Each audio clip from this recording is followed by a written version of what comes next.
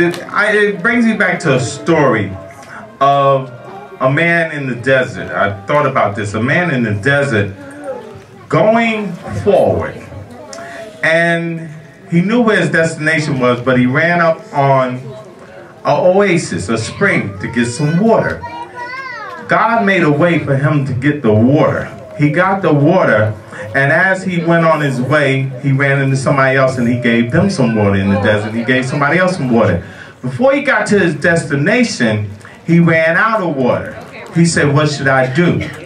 So he knew where he got this good water from, and it was a blessing to him. So he turned around and went back to the spring to get some more of that water. But when he got there, the well was dry. This is what I'm saying to the talent here. Don't never go back. Always go forward because not far from where he turned around at was his blessing. So we always have to move ahead and not turn around and go back. All right? Um, the next group of gentlemen.